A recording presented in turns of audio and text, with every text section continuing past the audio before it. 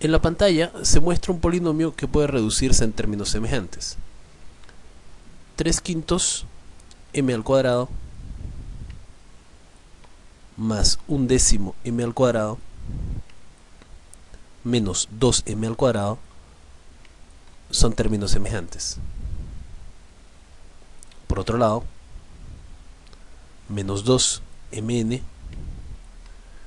menos un tercio mn más 2mn estos otros tres términos también son términos semejantes. Puede reducirse en términos semejantes de la siguiente manera. Sumamos todos los coeficientes.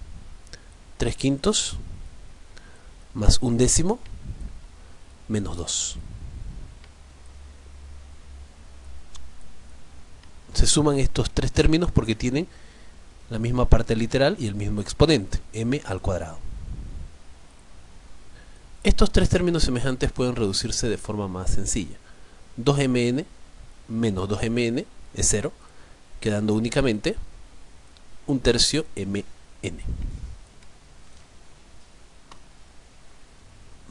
El mínimo común múltiplo de 5 y 10 es 10. 10 entre 5, 2. 2 por 3, 6 más 10 entre 10, 1, 1 por 1, 1. Menos, se supone que debajo de este entero, de este número 2, existe el denominador 1. 10 entre 1, 10, 10 por 2, 20. 6 más 1, 7. 7 menos 20 es menos 13 sobre 10. m al cuadrado menos un tercio mn.